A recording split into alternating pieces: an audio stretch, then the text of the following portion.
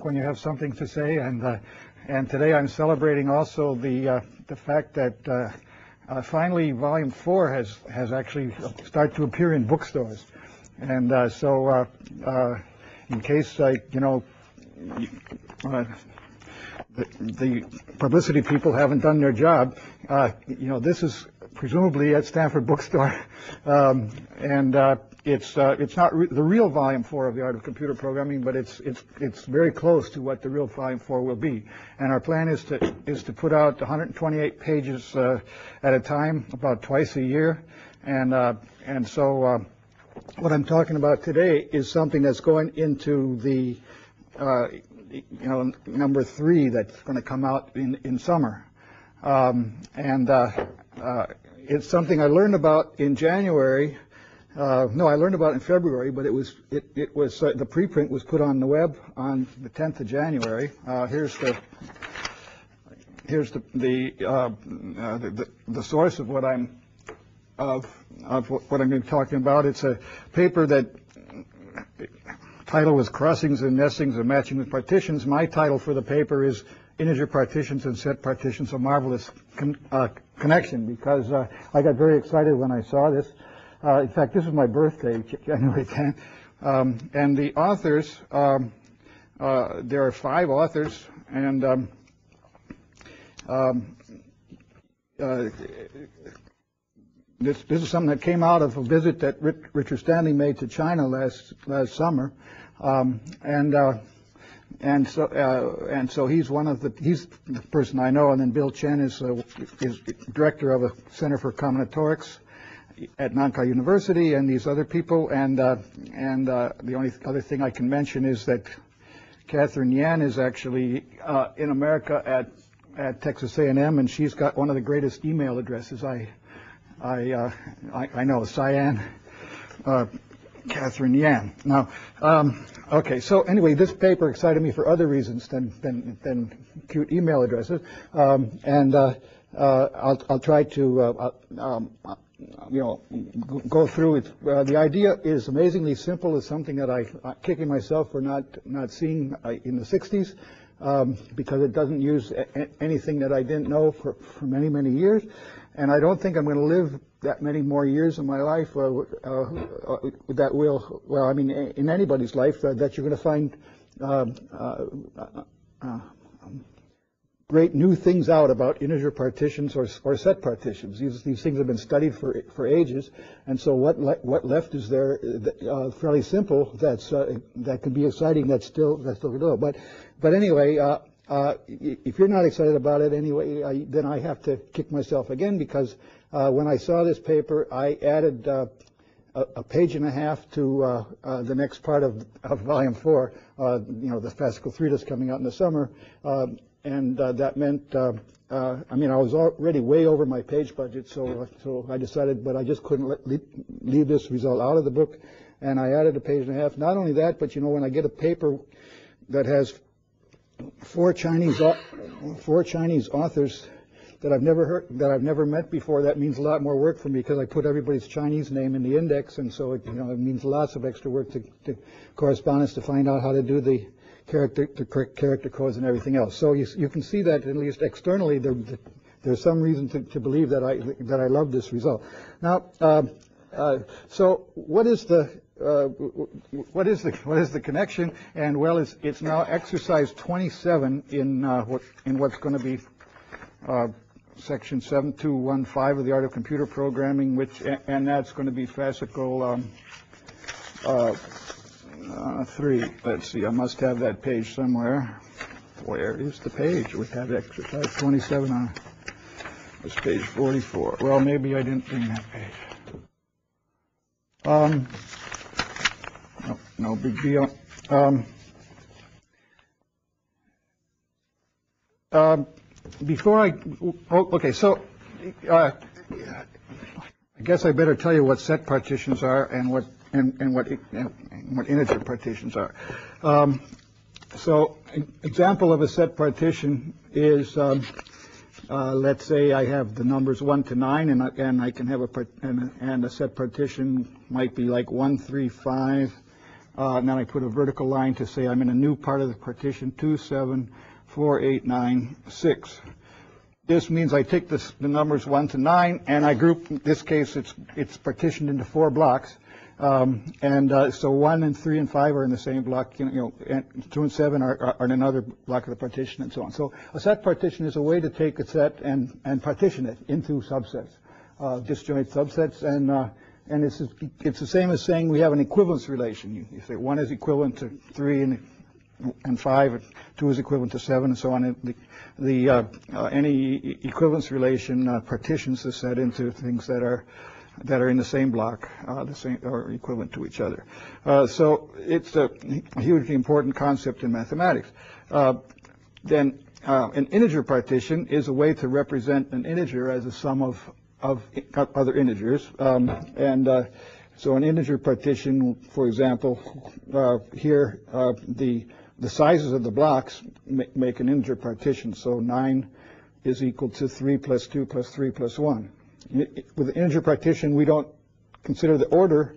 Uh, I mean, uh, uh, composition is an ordered partition, but an unordered partition, we would say it's equal 3, 3, 2, 1. We usually uh, when we give a partition, uh, we usually give the give the sizes of the of the parts um, in uh, by sorting them, increasing or decreasing order. Okay, but the set partition is a different concept, and when you when you have a, a paper in mathematics that it talks about partitions in the title, uh, the odds are about 70 to 30 that it's uh, that it's about integer partitions and 30% that it's about set partitions. And uh, and and there's there's always been this uh, this kind of a uh, you know the, the word partition uh, uh, used for both concepts. We never uh, changed English to, to to think of another word for for the concept of a set partition. Um, and um, in fact, the in, integer partitions and set partitions are extremes of uh, are sort of the opposite ends of the general idea of a multi-set partition. So, so a multi-set partition, uh, for example, I could have a, a multi-set that has one, one, two, three, three, three, four, five. This is some multi-set, okay? Um, and now um, I could imagine dividing it up into, into blocks uh, whose, whose union with the proper multiplicities is a set. Now, if I have a, if the multi-set happens to be 1, 1, 1, 1, 1, 1, 1, 1, 1, 1, its partitions are integer partitions. And if the multi-set is 1, 2, 3, 4, 5, 6, 7, 8, 9, its partitions are, are set partitions. So, so the, the extreme cases of, of multi-set partitions, at one hand you have integer partition, at the other hand you have set partition. Um, but uh, but usually the, the techniques that you use for one, uh, uh, you know, you, you, you put one hat on for those, and you and you put another hat on when you're working on set partition. Well, what's the uh, what I'm going to do today is I'm going to describe um, a one-to-one correspondence between every set partition and and a sequence of integer partitions. And the and the sequence of integer partitions is um, is, is what I wish I had page 44 to show you, but I don't. Um, it's um, it's uh, uh,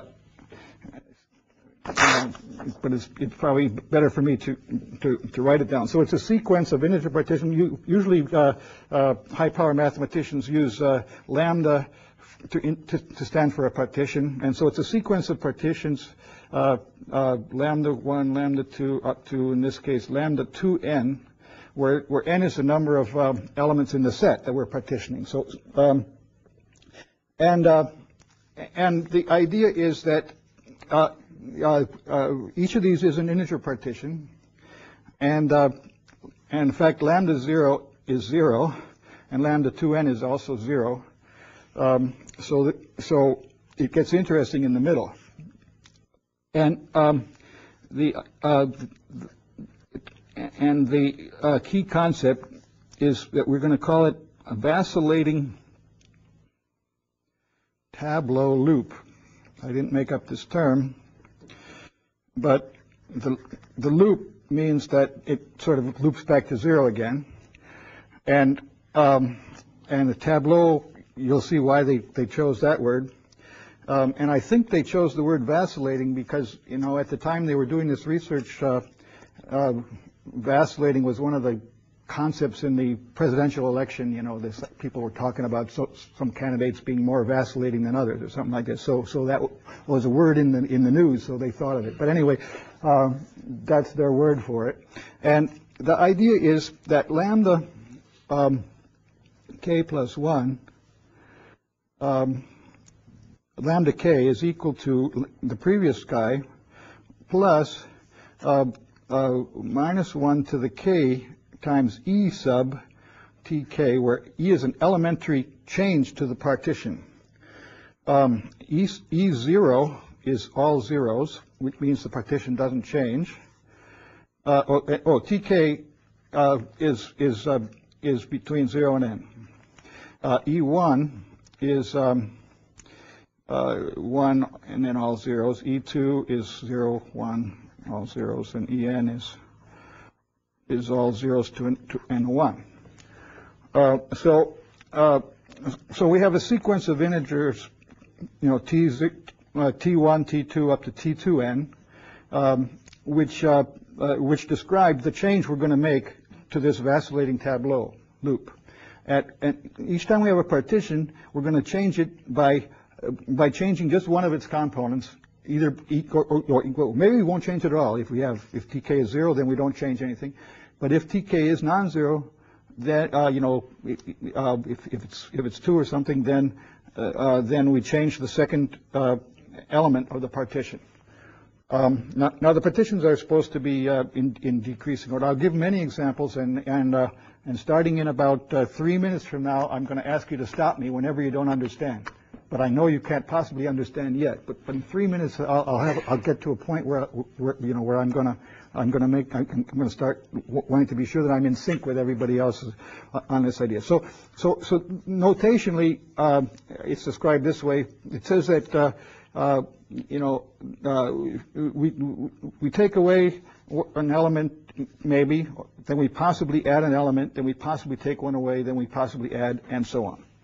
Now we have to we can't use any any such sequence because uh, uh, it might turn out that that we can't add something uh, and, and, and we no longer have a partition. Uh, I mean, things won't, the th things won't be in order anymore because lambda k is going to be is going to be a sequence of elements a ak1, ak2, uh, and so on uh, that are that are sorted. They're going to be getting smaller and smaller and smaller. Uh, uh, and always uh, non-negative. So, so the idea here is that certain sequences are going to work and certain certain aren't. Now, um, I exercise 27 asks first of all for the reader to find all the oscillating, all the vacillating tableau loops that uh, uh, in the case n equals 4. Um, n equals 4, it, you know, uh, uh, is small enough that, it, um, that you can do it easily and large enough that uh, it's not trivial. Um, and the number of partitions of a set of four elements is 15. So you have, so, so there, there better be 15 vacillating tableau loops. And uh, uh, here's the answer um, uh, which I'm sure, where I'm, um, can, can we, can you see that? Yeah, zoom, that's very good. So, so, so take the first one, all zeros, that's certainly a, a, a tableau loop, nothing happens, right? Uh, and then here's, here's one, it, you know, it gets to be a one. I, have listed them in, in, in dictionary order here. So it gets to be a one uh, at this point. Uh, that, that must be a, an even numbered position because uh, because we can only increase when we're at an even numbered position. We decrease when, when we're at an odd numbered position. Um, uh, so uh, these are all the all the cases, and, and so it, really there's only two uh, cases where we where we get past zeros and ones, and here's a case where we have a partition that has two ones in it, and here's a partition that has a, a two in it. All right, but but uh, it, it's kind of a, a, a, tricky condition that you know you can you uh, if you if you try to play around with this, uh, then you um, um, will uh, find out that you you better look ahead if you're going to get back to zero at the end. Um, so, uh, well, when, when n gets bigger and bigger, it gets a lot, the, the, the partitions in, in the middle get much more interesting, as we're going to see. But uh, anyway, that's the definition of a vacillating tableau loop. And I want to, before I go into it, I want to, I, I want to describe uh, one more thing is uh, a, a convenient notation for set partitions. Uh, so set partition, uh, uh, one way is to write the blocks like this, as I did, but another nice way is what they call a restricted growth string, um, a restricted growth sequence, and um, and the idea is that you that you give n uh, symbols. Uh, uh, first, uh, you say what class is is is one in, then two, then three, then four, and so on up to n, and uh, and you start with zero. So one is, uh, we'll call this block zero, block one, block two, block three, and we start with zero. Um, and then two uh, is in, in block one. And uh, in a restricted growth sequence, uh, uh, well, let, let, me write it out first. And, and, and uh, so three is in block zero, four is in block two, five is in block zero, six is in block three, seven is in block one, eight and nine are both in block two. Okay, so this restricted growth sequence is another way to talk about this set partition one, three, five, two, seven, four, eight, nine, six. Is are people understand that? You look at this and you can see, oh yeah, one, three, and five are equivalent. They got the same number. Two and seven are equivalent. Um, uh, you know, four, eight, and nine are equivalent because they have the same number. Now, it's called a restricted growth sequence. Uh, the rule is that if you, if um, whenever you choose a number for the first time, uh, it has to be just one bigger than the ones you've seen before. So after so after I've after I've got after I've done 0102, my next choice has to be 0, 1, 2, or 3. But I, but I couldn't go to 4 at this point because 3 hasn't occurred yet. After this, again, I can go 0, 1, 2, 3. After this, 0, 1, 2, or 3. Now I could introduce a 4 if I wanted to.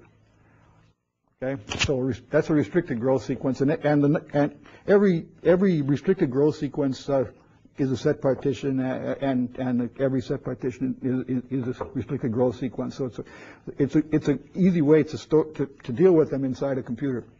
Uh, to work with restrict, and, and, so that's what I did on this chart here. I showed the different restricted growth sequences for n equals 4, 0, 1, 2, 3, 0, 1, 2, 2, and, and I put next to it uh, the uh, the, the, vacillating tableau loop that, that we're going to show uh, corresponds to these. So I have to get uh, I have to get a connection between these things, um, and, uh, uh, and so the, the, in the rest of my lecture, I'm going to explain why there's a, a one-to-one correspondence between um, set partitions and these these these loops of of ordinary integer partitions, uh, and then why this has uh, uh, really extraordinary consequences that are sort of mind-boggling. Okay. Now, um, uh, the the construction that I need is based on a couple of ideas that were in volume three of the Art of Computer Programming, and the first uh, the first nice idea, uh, due to Kaplansky, uh, and then uh, uh, he he worked with John Riordan during the during the Second World War. says that th there's a one-to-one correspondence, a really simple way to to to uh, uh, to represent set partitions uh, in terms of rooks on a triangular chessboard. Anybody here who doesn't know what a, what a rook is in a chessboard? So, okay. So so here we have a um, uh, triangular chessboard, and uh, we got we, we place rooks in it uh, that can't attack each other. That means that we have uh, we don't have any two rooks in the same row. We don't have any two rooks in the same column, and that's the and and every way there is to put uh, rooks into a triangular chessboard corresponds to exactly one uh, set partition. And I mean, you you don't have to you, you, you, can't actually place too many rooks. Um, uh, and uh, if you don't put, put any, any down at all, that corresponds to a set partition. And, and so this, so, and the rule is extremely simple. Um, uh, in fact, I, I'm going to actually, you know, I didn't know when I wrote volume three that I was going to be talking about uh, tableaus uh, uh, when I when I got into volume four. So I'm going to tip the triangular board this way, but the rooks will still still go on. So uh, let, let me show you the uh, the way I represent that at, in, in a triangular array, and um, uh, I, I, um, I draw the num, I I put the numbers one, two, three, four, five, six, seven, eight, nine along the edge. And now, um, if I want to say one is is um, uh, is equivalent to three, I put an X in in uh, column one and row three. And then three is equivalent to five. I put an X uh, three to five. I always go to the next one that uh, uh, that it's uh, that it's equivalent to. Um, so five doesn't have any, you know, five is the, is, is the, is the top guy in his block, so nothing there. Two goes to seven, so there's going to be a, an X up here. Um, I'll try to draw some lines that make it, make it a little easier. Uh, then what do I do for four? Four goes to eight, and eight goes to nine. Okay? So now I've, I've put uh, at most one rook in every column, at most one rook in every row. Which row, which rook did I put in a row? Well, if, if I'm not the, the smallest in the block, the rook in that row is, is your, your neighbor uh, to the left in the block. Um, what, what rook do I put in the column? If you're not the, the biggest in your, in your block, uh, that's your neighbor to the right in, in your block. Okay? So by looking at the, by looking at the rooks, I know what set partition I have. Um, and uh, uh, the uh, so so anyway, here we are with a uh, with a connection between uh, set partitions and rooks, and now um, that's going to be the key to our uh, our our integer partitions. That's coming up next. Well, right after this uh, part of, uh, right after the page um, uh, where I had this picture of the rooks, uh, the next page starts the section of, of volume three that talks about tableaus, and these are fascinating uh, concept that that seems to have tremendous uh, applications in in uh, uh, mathematical physics and many other things because the because it relates to basic properties of, part, of permutations, and, uh, and a tableau is is uh, uh, uh, an array of, integers that uh, looks like this. Um, uh, for example, uh, it's increasing in rows and and increasing in the columns, and it's and it's uh, these rows are are are are, left justified. So so the the shape of the tableau is a partition. Uh, this you know here's a partition six four three one one. And uh, it's a partition of 16. And, and uh, the number, right here I put the numbers uh, 1 to 16 into a tableau. And one of the, uh, one of the uh, most, I don't know, amazing, fundamental, and so on, uh, uh, uh, operations was discovered. It's now it's called the Robinson-Schensted algorithm, um, and I so I started out that part of volume three talking about how to insert a new element into a tableau. I guess I don't have an eight in this one. Uh, so uh, there's an there's a, uh, um,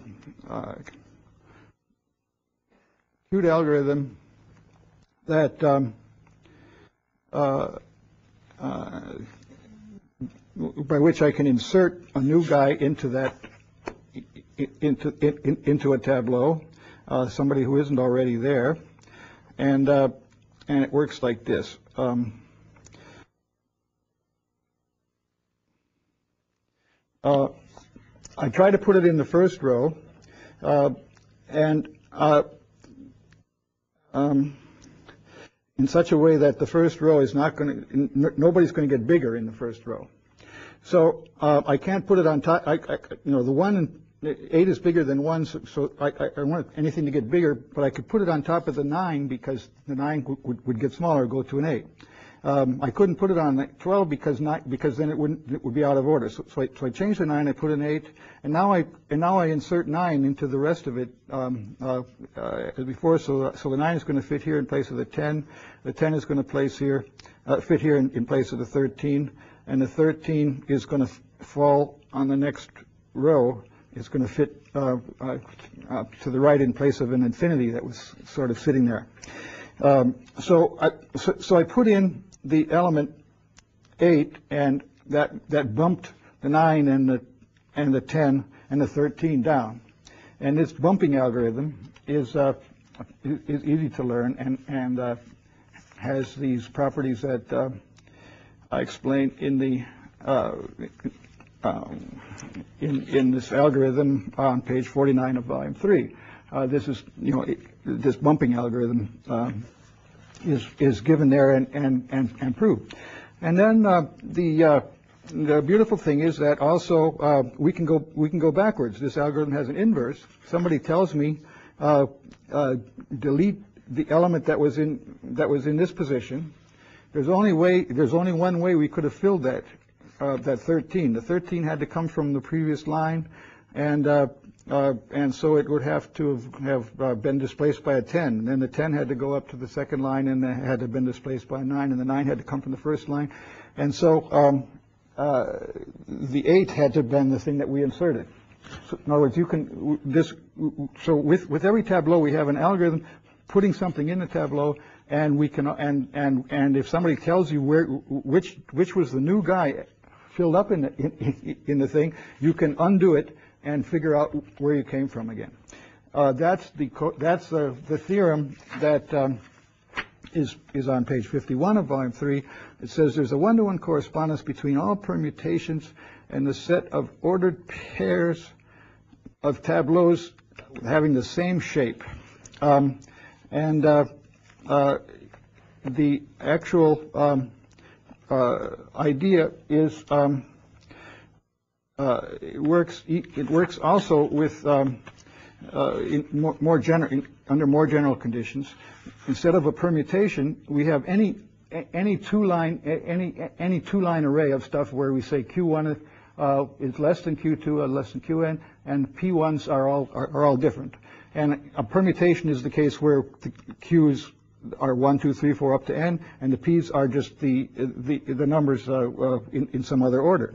Um, so here's an here's an example of this generalized permutation. It, it would be one, three, five, six, eight uh, in two line over seven, two, nine, five, three, and uh, and in, in the book, I, I go through play by play. Uh, uh, you start with an empty tableau, and we insert the, the first guy seven, and uh, and then we put in Q the place where we inserted it.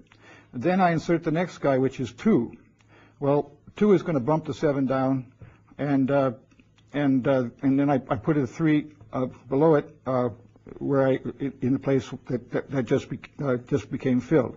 Okay, now for nine, what's going to happen? Well, nine is going to fit in the front row.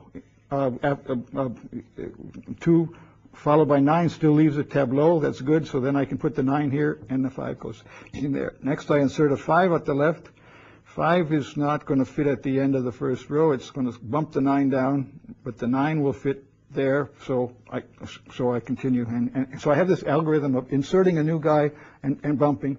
And, and uh, um, uh, the, uh, uh this means that given any two-line array like this, um, I, I can fill, I, I can find two tableaus that are of the same shape. Every time I'm putting something in on, on in Q, I'm, I'm putting in a bigger element that, that what was before, so it's definitely a, a, tableau here. And this bumping algorithm keeps keeps the p's uh, as as as as tableaus. So uh, every permutation gives us these two tableaus, and you can also go backward. Because if I have to go back and say, what permutation caused this? Well, I look at the highest element in Q, that was 8. So I said, oh, okay, this, this 7 must have come from somewhere. So the 7 is going to, so, so I use the deletion algorithm, and the deletion algorithm says the only way I could have got from that is by popping the 3 out of this, of this P tableau. So I pop the three out and I get back to here. And then, and then I take off the six and I pop, pop the nine, you know, the nine is going to pop out the five. And so that, so I can reconstruct the original one, three, five, six, eight, seven, two, nine, five, three from these two tableaus. Okay, now that is the, that is uh, the amazing uh, uh, correspondence of Robinson and Schensted that um, um, is going to be the key to what we do now. Um, so, um, uh, because what I'm going to do is, I'm going to, I'm going to think of this. Uh, uh,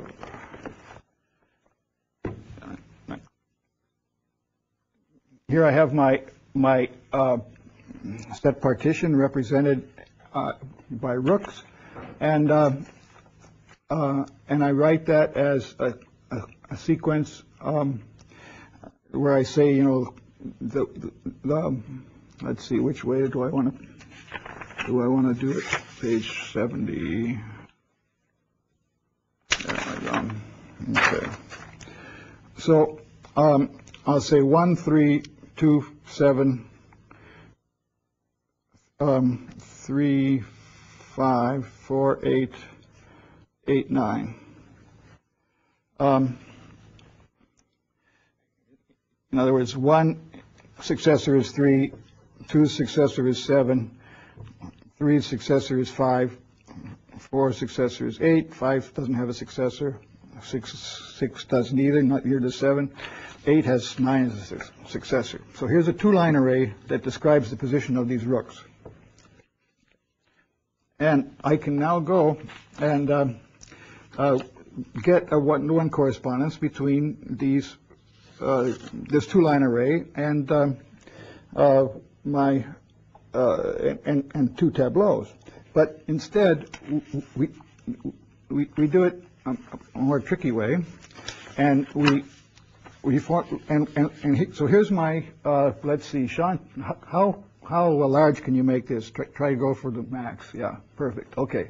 Now what I'm going to do is I'm going to I've got not, I've, I've got a set partition of nine elements. I'm, I'm going to I'm going to do 18 steps. I'm going to get eight. I'm going to make a vacillating tableau loop of size 2n, which is 18 in this case, um, and uh, I'm I'm going to um, um, uh, uh, walk around the edge. Zero, one, two, three, four, these tiny little numbers here, uh, and I'm going to do an 18-step process. And, and, and wherever I am, I'm going to look at the rectangle above the point where I am. So I start out, and um, and uh, the first from zero to one, it's always uh, uh, is always trivial. In fact, it, you might uh, think it's really stupid the way I define a vacillating tableau loop because I'm saying that lambda one. I, I said I said that lambda one has to be equal to lambda zero minus e sub t1, and uh, but, but lambda 0 is 0, so I can't possibly take anything away from it. So, so lambda 1 is always 0.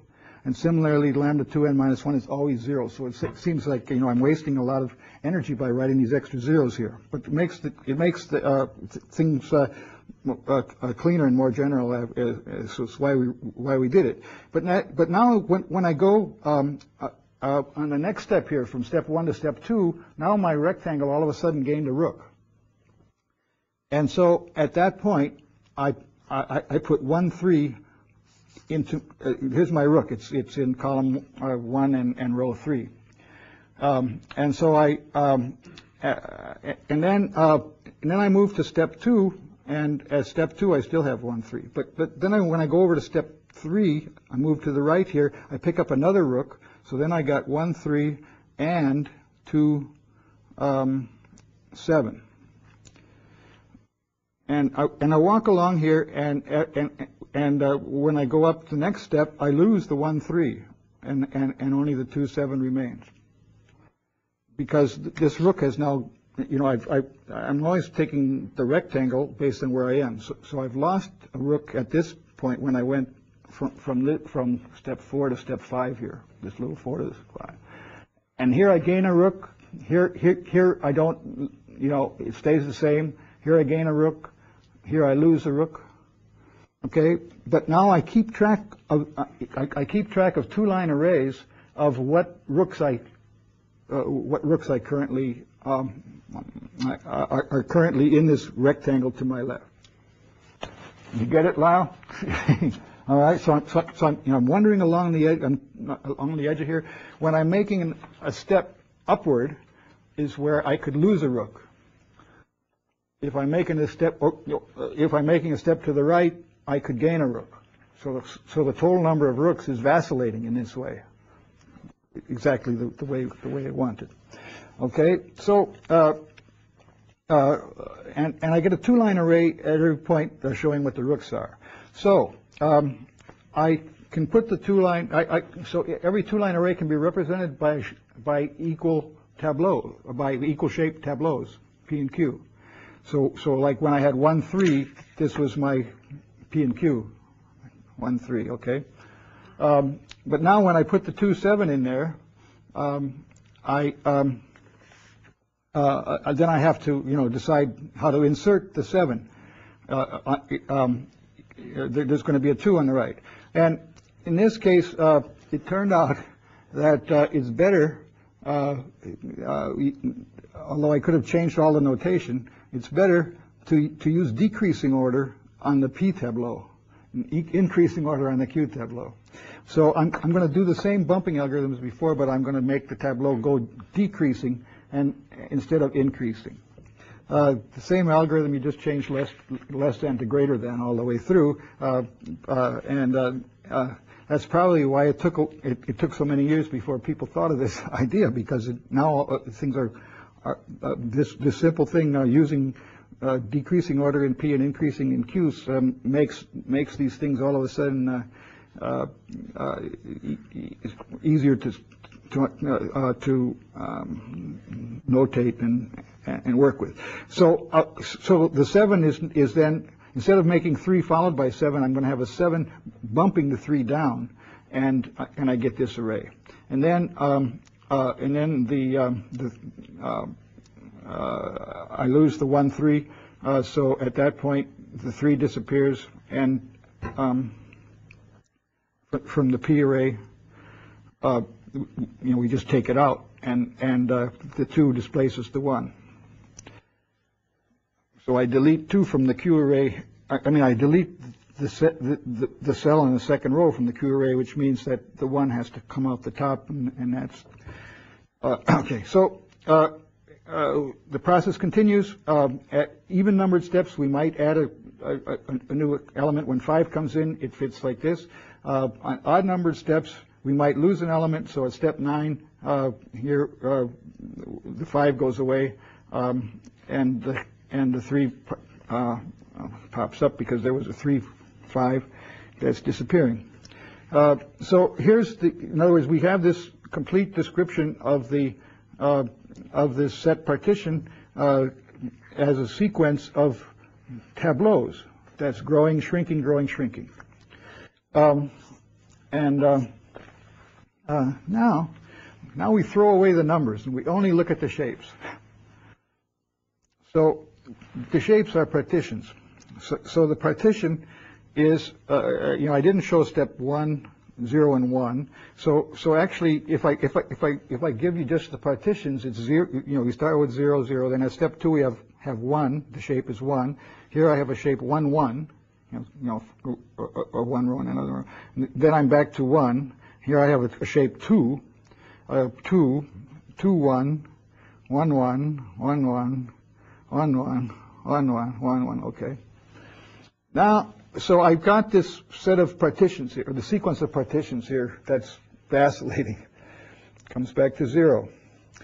Um, and um, uh, the sequence uh, has this property, by the way, that um, uh, we can, we know when we've, when the thing stays the same. It stays the same if there's, I mean, an, an odd numbered step uh, stays the same if there's nothing in the column, if there's even numbered steps, if there's nothing in the row, something, anyway, something like that. We can, we can tell by looking at this which rows were filled and which columns were filled. Um, but we can also tell exactly, exactly wh- where they are. And that's the, and that's the amazing thing. I, I, I, I could figure out uh, the P's and the Q's uh, just by knowing the shapes. And um, the reason is, um, well, the, of course, the reason is simple, uh, because uh, of the of this magical Robinson Schensted process. Um, so let's suppose that I that I didn't know um, what's happening when I'm going from step seven. Step seven, uh, uh, I'm, going to fill in the. the I, I, I'm going to show how to fill in the Q's. And suppose I got up to step seven and I know that, and I know that um, uh, that I have two, three here in Q. And I'm going to go to step eight, uh, and uh, if we if I go up to my diagram here from um, from seven to eight is is this step here, which is adding adding an element, right? Um, but all I know, all, all, I'm told is that um, is that Tableau gained a new element down here. Um, but what new element uh, uh, could it possibly have gained um, uh, when I'm going from when I'm going from seven to eight? Uh, uh, because um, it's column four, so so it has to be a four. It's, it, the only you know the, the, new element that gets added when I add an element is is it, it, when I'm doing eight, I'm I, am always adding a four. And if I'm doing 10, I'd be adding a 5. And if I, you know, I'm, if I'm doing step 2k, I'm getting, I'm adding a k. So, so uh, uh, it's easy to to go from 7 to 8 and figure out this must be two, three, four. Now, what about step 9? Step 9, I'm told that the, that the shape now goes like this. So what what uh, what is Q going to be at, after step nine? Uh, all I'm told is that the shape that the partition has now lost this element in the first row. Well, um, uh, you see that's the deletion algorithm for tableaus. It says uh, just delete the element three, and so it so the two and four stay. Um, that was a that was maybe too easy. Uh, I mean, to delete the three is easier. What if I had deleted instead this four? What would have happened? Well, then you see the four would have had to been would have had to been bumped by somebody in the previous row, and it would have been it wouldn't have been bumped by the two because it couldn't have been four three, so it had to be two four. So so the four would have had to had had had to be bumped by the three, and the three would would have popped out the top. So so in general, I can go through just from the shapes and I can figure out what the Q's are. And uh, go, going in forward order. And the same, same argument, uh, if you think about it, going backward, you can fill in all the P's going from the end to, to, to the beginning. Um, and so, uh, it, but uh, actually, as long as you know what that, that the, you know that the three got got bounced out at this point, when nine was added, then then you know exactly which rook it was in in in row uh, in, the row that, that that we're that we're going up here. Uh, we're going from eight to nine. We're we're going from row four to row five, uh, to row three, no, to row row four to row five. Uh, so so that says that it must have been a three five. There must have been a rook in three five. So so so so the guy that so so in other words, uh, somebody gives you a sequence of, of these integer partitions, then um, you you don't have to work with the p's at all. You can just uh, suffices to do with the q's. Uh, you can um, um, uh, if you're at step 2k and you added a new element, just put k in the in the new position that just showed up in the partition. If you're at step 2k plus 1 and you, are deleting an element, uh, you take the place in the partition that you want to get rid of, you, you, you, you use your deletion algorithm and see what pops out the top. And that's, the, that's where the rook was in position K, in, in row K. So this tells you what the, where the rooks are in, each, in every row. So that's the, that's the, uh, the one-to-one correspondence between integer partitions and set partitions. Every, every set partition gives me this sequence of integer partitions from which I can reconstruct the set partition uniquely. Okay, so that is the, now now the, uh, uh, uh, for some of the amazing consequences of this result. Okay. So, uh, and most of the consequences that I know are, uh, fall from the, the uh, idea of taking the transpose or the conjugate of integer partition. So if I have a if I have an integer partition, let's take uh, you know uh, uh, what was the one I had a minute ago. Uh, uh, we said uh, six four six four three one one. So it's one two three four five six four three one one. Um, it has a conjugate, so you know this is lambda. Then it has the transpose. The conjugate is just like you do with with uh, taking the transpose of a matrix. So it has six in the first column, and then four, and then three, um, and then one one. Okay. So here's the five three three two one one is the conjugate of so you know six four three one one conjugate is equal to five three three two one one. Okay. Now, um, uh, obvious idea lead, leads to lots of, of startling properties of integer partitions. For example, the number of integer partitions with largest part 6 is also equal to the number of partitions that have exactly six parts. Um, uh, but now we got a, a vacillating tableau loop, lambda 1, lambda 2, up to lambda 2n. Um, we can form its transpose, transposes, um, and lo and behold, these are also form a, a, a vacillating tableau loop. Because if you if you add one element, if, if, if you if you add an element to a to a partition, uh, you're adding an element to its conjugate. If you're taking an element away from a partition, you're taking an element away from its conjugate. So so we have a one-to-one correspondence between uh, set partitions and their duals. So let's call this the dual set partition. So, so, so this corresponds to some set partition, pi, and this corresponds to the dual of pi, whatever that means. Okay. So, so now we have an operation on set partitions uh, that takes every set partition into some other set partition. That is that is uh, uh, well there it is, it's the dual.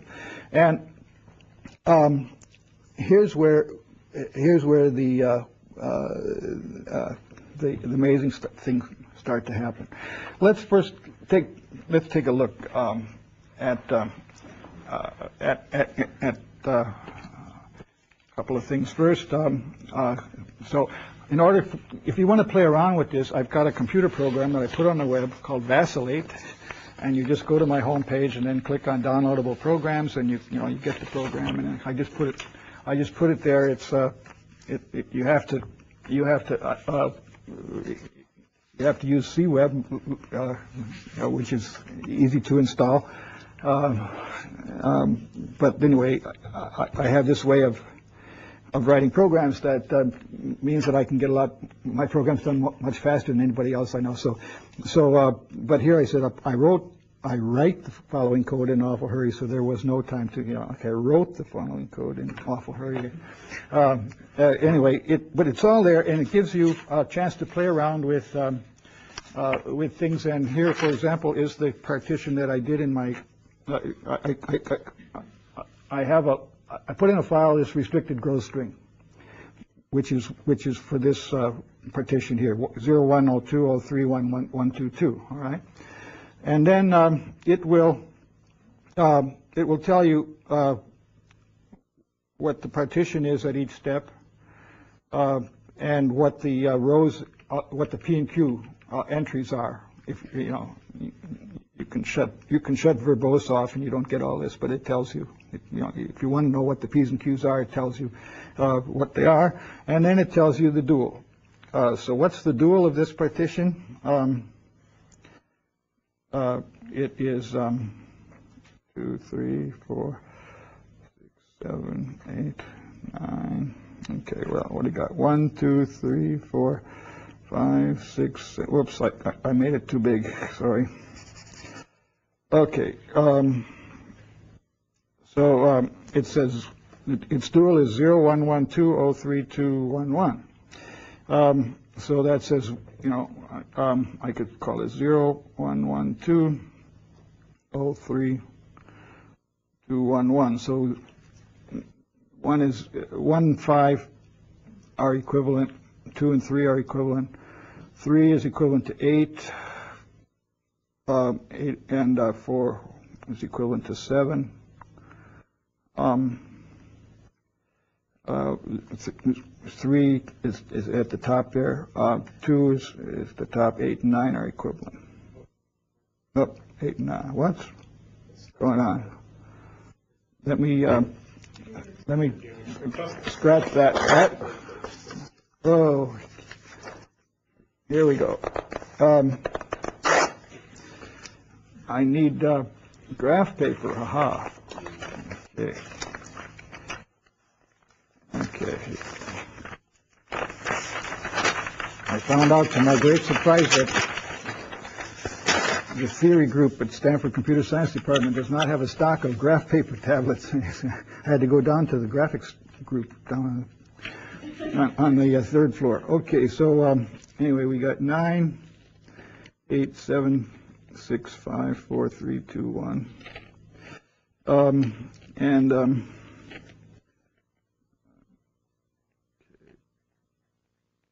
Right.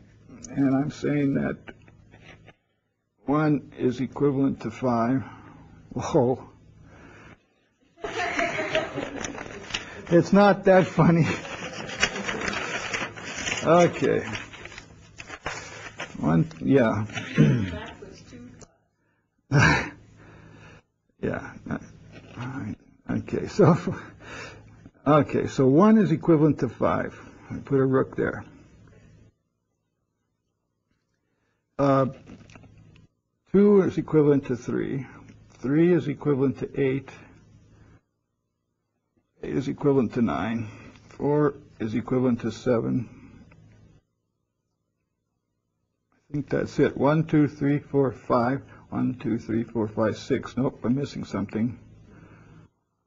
One, one. Two to three. Three to eight. Eight to nine.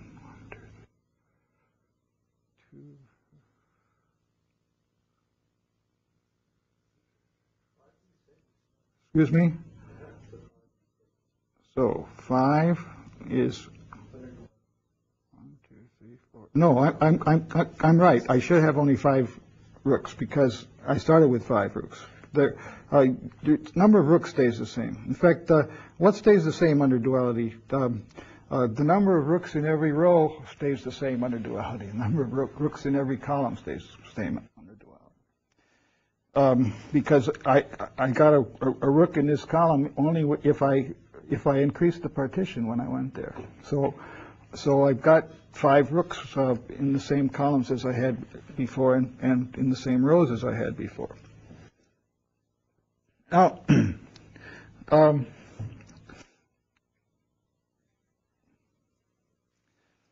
the main, the, the main thing that is known that, that, about tableaus, however, it, it, which is the wonderful thing about these, it, uh, about them, is that the number of rows in the tableau, the, the, the size of, of the first row in the tableau, is the length of the longest increasing subsequence of the permutation that you started with. Um, and uh, this is, and the number of, of uh, I mean, the number of columns, and the, and the number of, of rows is the, is the length of the longest uh, decreasing subsequence. So, so um, uh, what what that means is that um, I've got uh, when I'm looking at a a uh, any one of these any one of these rectangles that I've got that, that, that, I'm working with as I'm, as I'm crawling along the edge here, and I, and I, I have these, these rectangles, um, the rooks that I'm seeing in the rectangle uh, correspond to a two-line array, and a, uh, an increasing sequence of length four corresponds to a bunch of of x's that, that, that go up. The decreasing sequence corresponds to a bunch of x's that, that go down.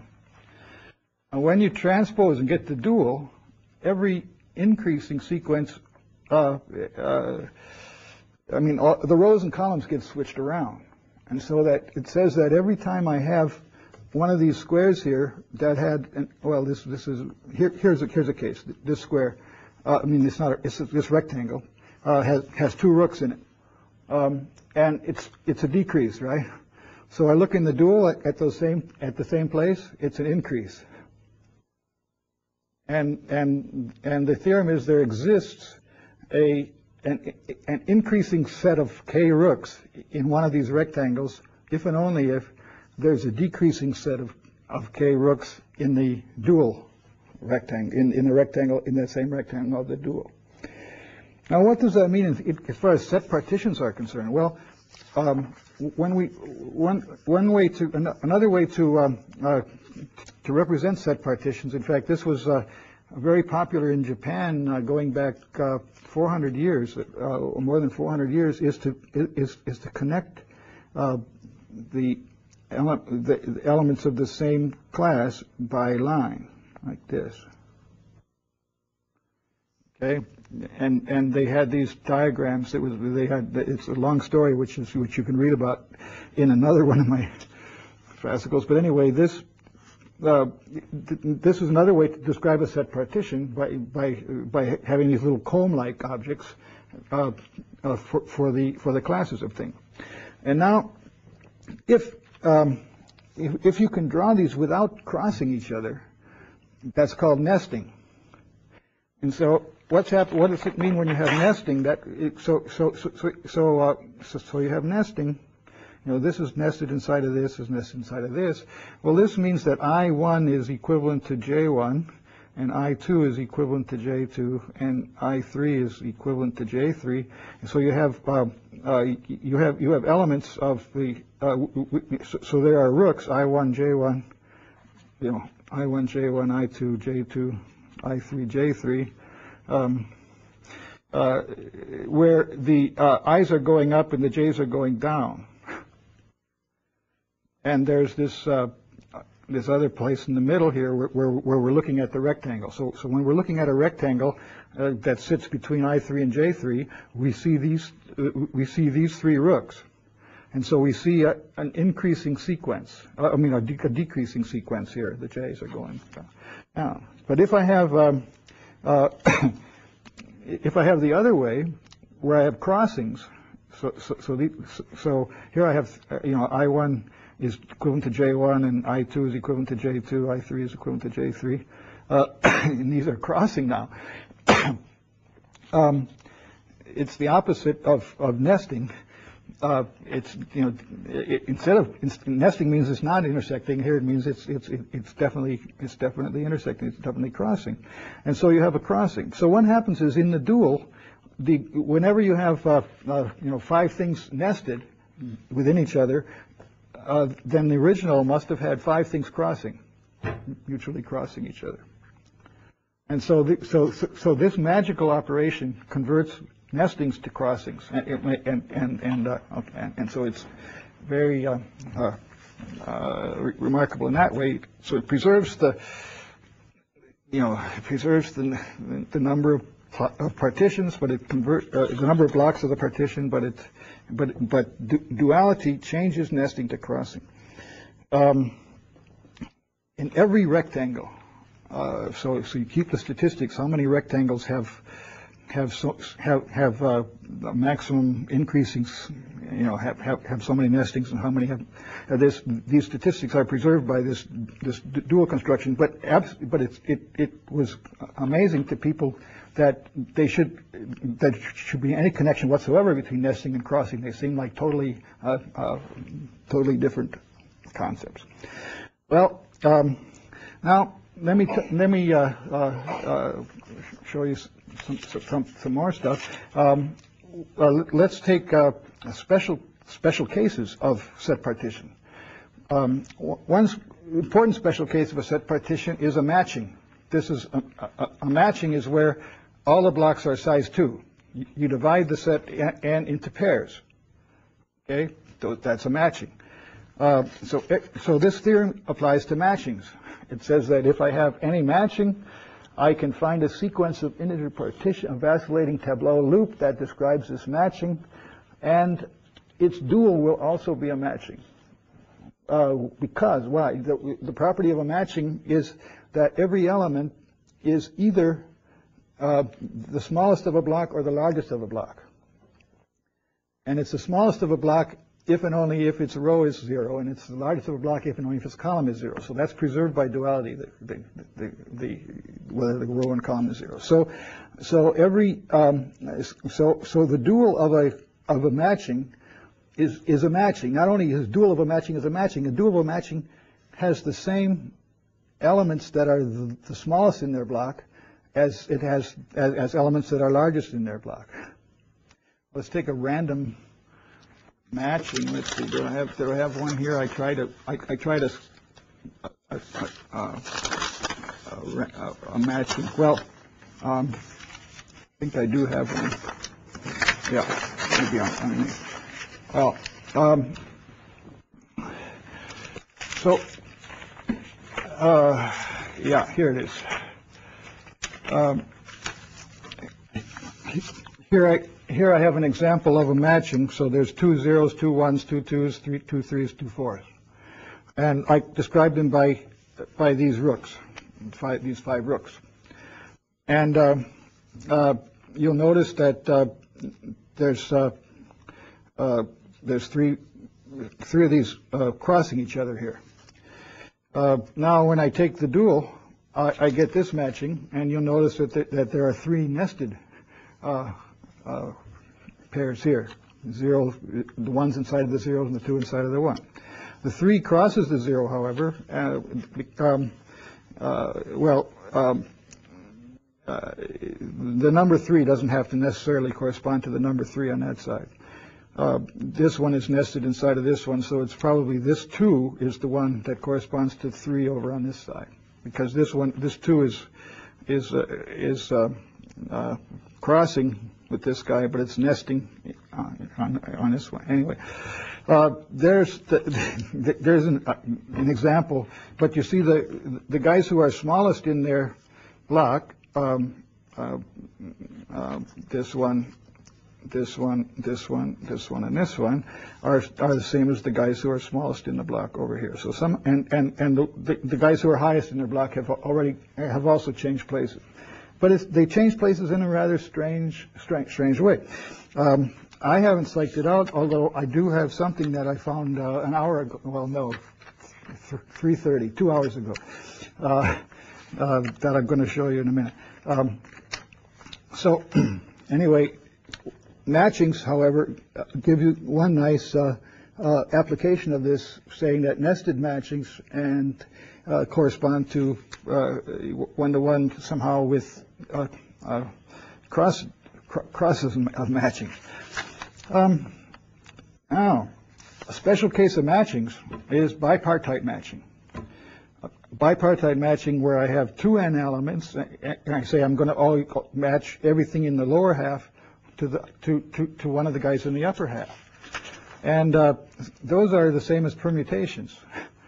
Uh, if, uh, it's, it's easy to see that, you know, if I, suppose I number the, the guys at the bottom, I call them one, two, three, four, five, and the guys at the top, I call them six, seven, eight, nine, ten. Well, every permutation of six, seven, eight, nine, ten is a way to match one, two, three, four, five to, to, you know, to the, to six. So, so there are, um, so, another special case of this is permutations. Every permutation has a dual permutation. Um, and that means it, um, that really I'm just, um, uh, you know, I have a set partition, uh, but, but in a very special case that all the rooks are actually going in this square part up here. And so I just put, you know, I just put some, I- just put rooks here in some, in- in some permutation, and then I get a, uh, a bipartite matching. Okay, so I, I, um, we get then the notion of du- duality between uh, permutation. And uh, so there are six permutations of three elements. Can- Do this show here? Okay. Um, and here's what the here's what the duals are. And you might think it's clear what what's happening. Well, the identity permutation goes into this uh, opposite one, and these things uh, sort of seem to rotate. Um, um, I think it's boggling. I, I, I, here's a list of all the 24 permutations um, and their duals. And uh, uh, if you if you can psych out what uh, uh, what it means, uh, please let me know. I think it's uh, I think it's just it, it, it's a, it's a total mystery, although very simple. You can work out that you know you can find the tableaus, you can you can you can uh, transpose them, and you get the and you get the dual and. Uh, uh, You can use my Vacillate program and feed in, uh, you know, bipartite matchings, and you'll get the dual partition. It'll, it'll, it'll, it'll tell you what they are. Um, and um, how I, I, I found one one nice thing about the dual of a partition, um, and that is uh, if you, well, I found eight nice things about them. Uh, well, seven. Um, if, if you rotate uh, this square by 90 degrees, its dual also rotates by 90 degrees. And if you flip it left and right, its its its dual also flips. So so although I although we define the the concept of dual by working uh, sort of only look, looking upward and, uh, and, and, you know only we, we're only looking north and west as we're as we're doing this duality process. Actually, uh, our, the uh, the algorithm is nice enough mathematically that it's going to actually you know uh, it, we could have been been attacking it from any of the any of the directions. So so all the eight symmetries of the square uh, are, are preserved under this. So so the duality commutes with with the uh, uh, the, um, the, the the symmetries of the square, the left re- reflection up and down, uh, rotation, and so on. Um, by five, for instance. what? Uh, you just uh, made the observation or you proved this? I proved it, yes, here's the proof. Um, uh, the proof is uh, actually, you see, if A corresponds to B, then it's reversal, left to right reversal uh, corresponds, uh, and this is by theorem 514D part B. Uh, okay. Volume three. And, uh, and it's easier to say, uh, if, if A corresponds to B, then their transpose correspond to transposes. And this is because it should be this. it's well known that the, that the, um, that the Robinson-Schensted algorithm, if you transpose the permutation, you, you interchange P and Q. And so, uh, uh, so it has to be, um, so, all you're doing is, interchanging P and Q. And if- P is being transposed and Q is being transposed, well, anyway, this is the, this I believe is the proof. So, um, um, the, uh, but here I, show an example of a sort of a random uh, uh, seven by seven permutation, uh, and it's dual. And I, you know, I just don't as far as I know, uh, it's it, it's a, a complete mystery as to what as to this magical operation, what it is. And so, you know, uh, but we, we know partial information. Now, I tried one funny thing. I tried an eight by eight, and um, and I and all of the examples I had before when they were when when I changed rooks to queens. Uh, uh, it, the dual also worked. In other words, I had a solution to the queen's problem, and I took the dual, and the dual was also a solution to the queen's problem. I said, "Oh no, this can't be true," and and sure enough, it wasn't. Uh, uh, uh, and, and here's um, here's an example of a thing where there's no rooks in the same diagonal as well, and the and the dual definitely didn't work. But the first time I I did it, I I, I- was uh, uh, you know I thought, my gosh, uh, what is going on here? Uh, but the, no, it's not that good. Um, but the uh, but there but this mysterious duality on on permutation. I mean, I uh, is is there and um, the um, the law it, the rule is that it's its dual is sort of related to something that's described in in my discussion of insertion of uh, uh, Schützenberger's uh, uh, transformation on tableaus has, to- is, is related to this. Anyway, that's, but, but uh, still, uh, I don't, I, I- I don't see anything uh, geometric that, and, and you see, every permutation that has uh, an um, uh, an increasing sequence of, like, you know, X is going upward, three of them here, there's got to be three of them coming downward in, in the dual. Um, And you could get that effect by tipping the thing over, but that's not the dual. Um, Okay, question? Does um, the dual preserve uh, anything about the decomposition of the permutation into cycles? I don't know. It'd be be worth trying. I haven't, uh, I haven't, uh, I, I- you know, I- I- uh, if you look at the date of this sheet, it's, it's today. I, I, I, I- was just thinking about this, you know, uh, just before lunch, so. um, I- Well, the identity, the, the dual is the, The ideal, It's that's right, that's, it. the identity goes into the, in- into the reverse, so, so, so, the cy- so. uh, so it doesn't preserve the cycle structure. It doesn't preserve the cycle structure, but it maybe, uh, the sum of the two is constant or something. I mean, you know, the, you know, maybe something about the number of inversions, you know, there's all kinds of statistics about permutations that might or might, might, might not be, be be transformed in interesting ways by this property. Uh, okay, now, um, so, uh, um, I did find something, uh, and that is, uh, another important kind of matching is uh, uh, matching with no nestings at all, uh, I mean, no, no crossings at all. And these are the non-crossing, uh, thing, these are, for example, the matching with no crossings is, uh, is, is nested parentheses uh, you match the left parenthesis with the right parenthesis, right? So, so uh, uh, I take um, uh, a random binary tree, uh, which I don't know where I put it. I thought I brought it with me, but I don't seem to have. Uh, That's a shame. Well, um, I've got, I do have the uh, example, though. Okay, so uh, take up So, yeah, here's a restricted growth string for, a for a, uh, a set of nested parentheses where there's two zeros, two ones, two twos, and so on. So think of the two zeros as a left and right parentheses, two ones as left and right parentheses, the two twos here. And so, so this describes some big nested sequence of parentheses. I'm using hexadecimal notation here to get the AA because I ran out of, of digits after nine. Um, okay, that's that's a um, um, uh, nested parenthesis like this, and the twos go in here, and the threes go here, and the fours there, and so on. Everything is nicely nested. All right. So now we can we can apply the algorithm, and we can we can find what's the dual, and the dual. um, it has only crossings, no nesting at all.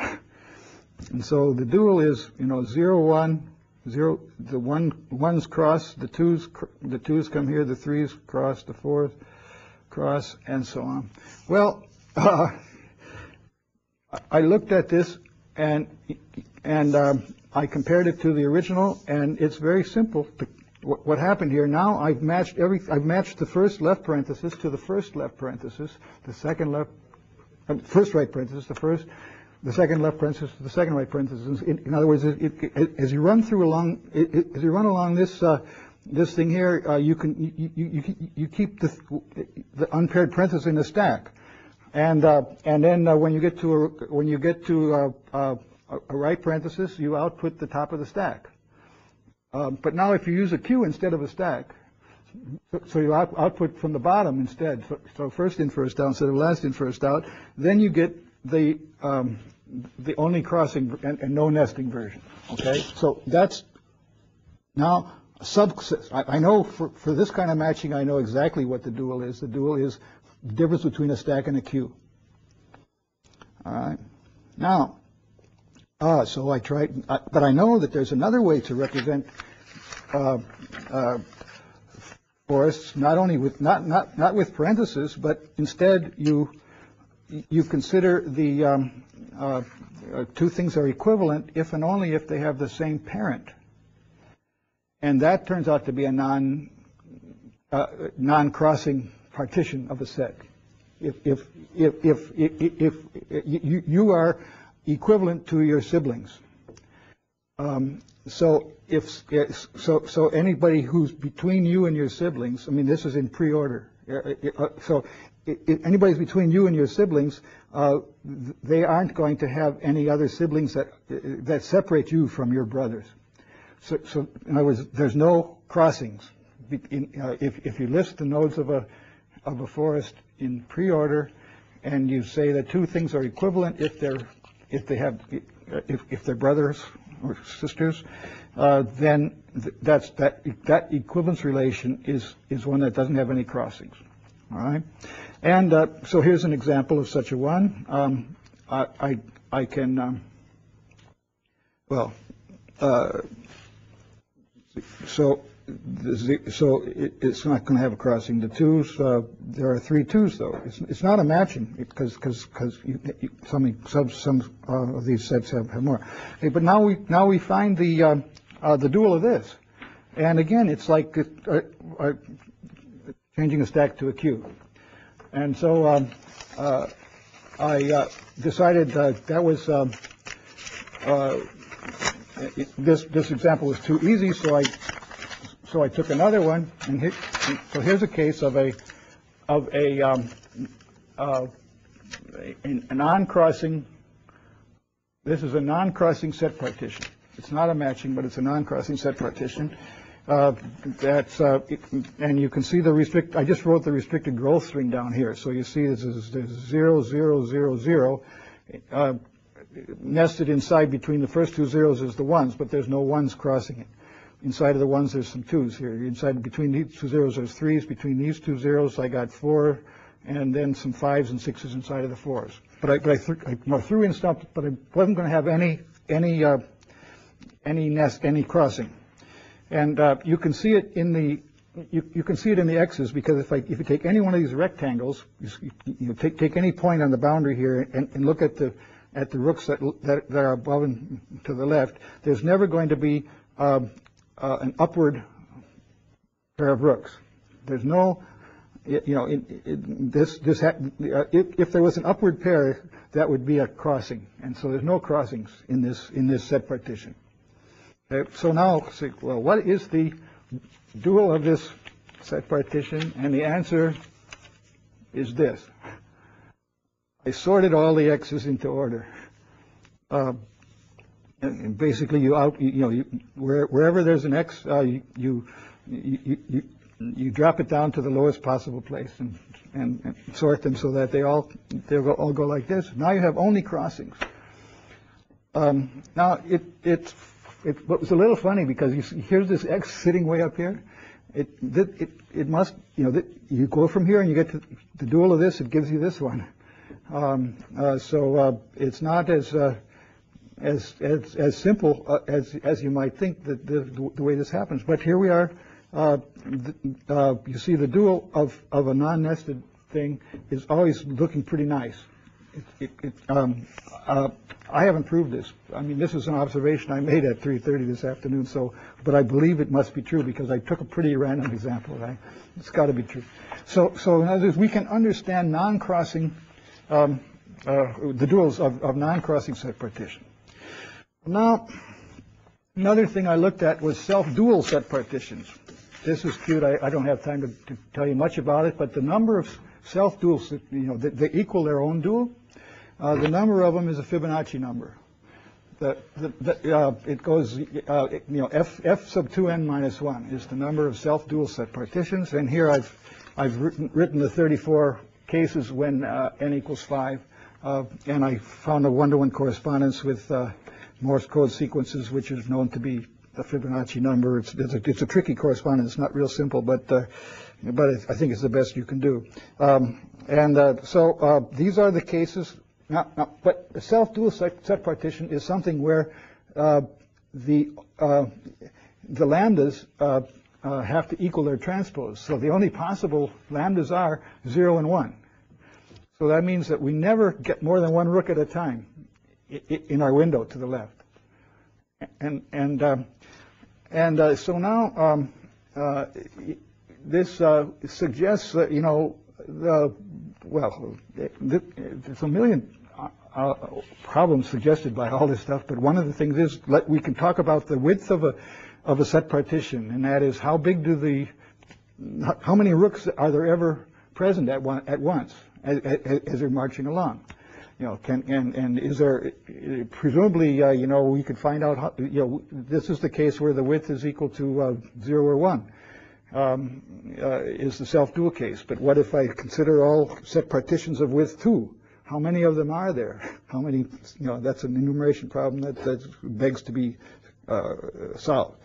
Um, uh, it's got to grow eventually because uh, I mean for fixed width it's it, it, it can very well be a, a, a simply exponential growth, but the uh, the total number of set partitions grows faster than n factorial because it you know, well okay so um, uh, here's here's uh, uh,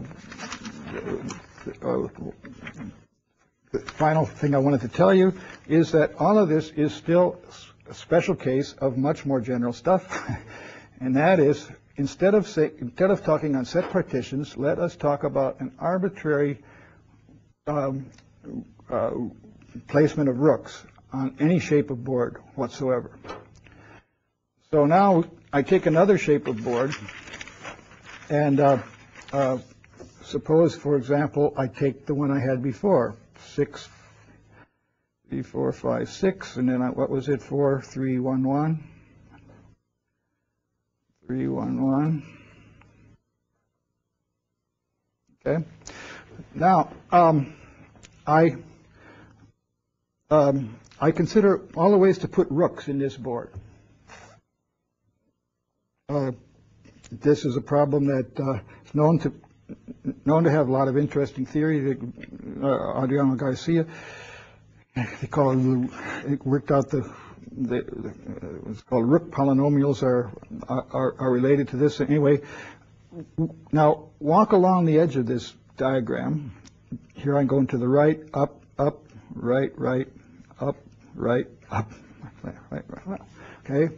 Now I'm going to generalize a vacillating tableau to a, to, to, a sequence of tableaus that starts with zero, ends with zero. But when I take a rightward step, I'm allowed to add a, add a rook. When I take an upward step, I'm allowed to subtract a rook. But instead of going up, cross, up, you know, left, uh, you know, right, up, right, up, right, up, right, up, here I'm doing it in another sequence. So now I'm saying that lambda, you know, lambda 1 can be bigger than lambda 0. Lambda 2 can be smaller than lambda 1. Lambda 3 can be smaller than lambda 2. Here I'm allowed to go up. Here I'm allowed to go up. Here I'm allowed to, allowed to go down. Okay?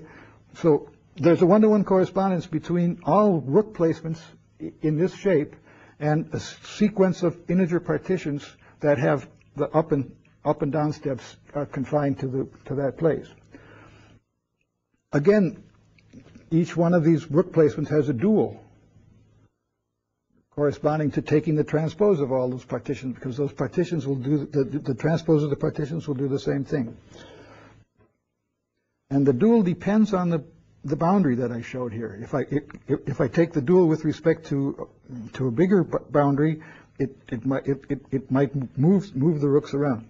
So for every class of of rook polynomial, for every class of rook placements, we have a one-to-one correspondence with a certain integer sequence of integer sequences of integer partitions, and those and and the the one-to-one correspondence is has the property that it preserves, um, uh, you know, that that, that that that there's a duality operation on it that uh, has miraculous uh, uh properties, and uh, uh, that is um, pretty mind-blowing. So so you see what, now maybe why I decided to add another page and a half to volume four when I when I heard about this. I had to have I had to have this in there. Although I'm sure uh, after a year goes by, a lot more will be known about this about this kind of thing.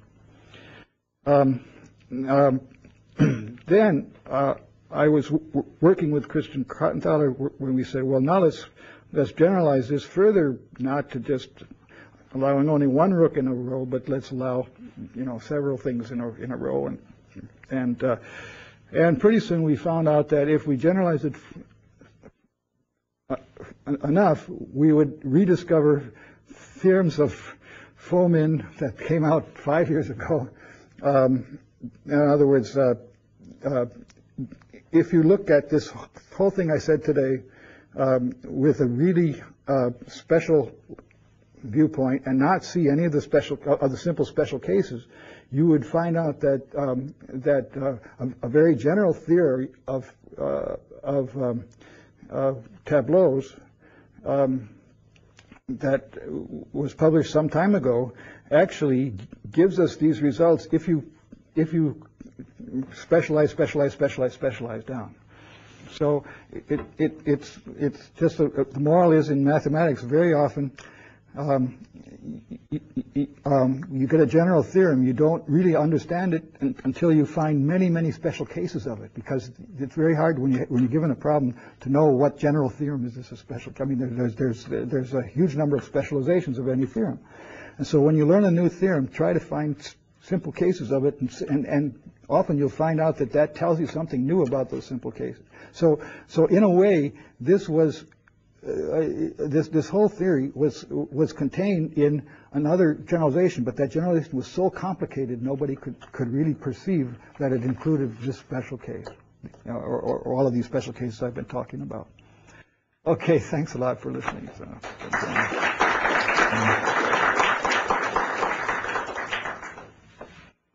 Any more questions? uh, original correspondence between set partitions and sequences of these. Yeah, up- and right, that's what- What was the, what, what's one carry away striking feature of set partitions that follows from this duality? Because I, I didn't hear one that I thought, wow, you know, that's really, It was- Well, the, the most striking was about the connect, uh, the the nesting with respect to crossing, because, because set partitions, I mean, the ne- nesting properties of set partitions are, are, uh, uh, some of the most important things about them. The, the, the fact, yeah, the fact that the, uh, um, I mean, there, there was a sequence of people had been studying uh, properties of, of, of matchings, uh, and then it turned out that, uh, that uh, Stanley and these four other people said, oh, but it also applies to set partitions. And so, so in the special case of matchings, uh, the, uh, the, the connection between matchings with different kind of nesting and so on was the, uh, what was the, the, the original spark to studying this. Mhm.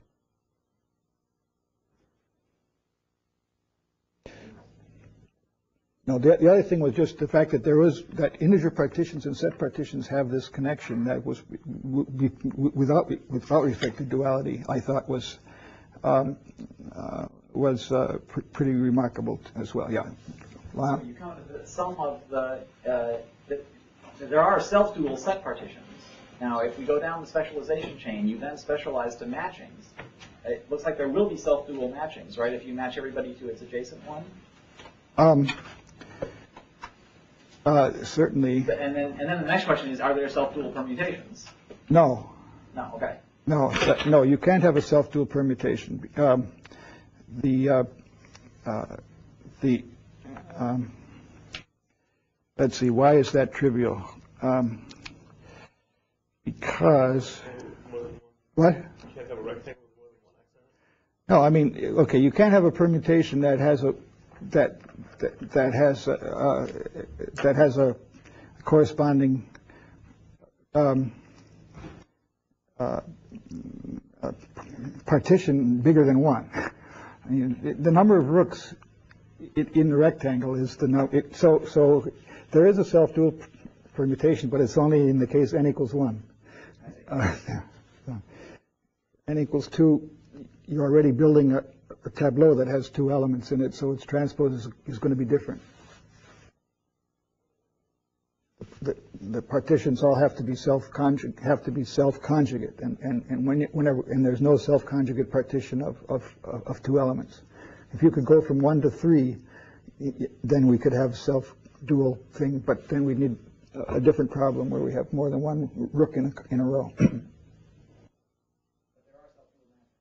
There are self-dual matchings. In fact, um, uh, I've shown all, all the, um, the- my Fibonacci construction here. This- These are the self-dual set partitions, and so, uh, well, these are uh, on five elements, so uh, you'd have to go to an even number of elements in order to get a matching. But, uh, but uh, self-dual involutions, in other words, uh, an involution is a matching with other singleton elements as well.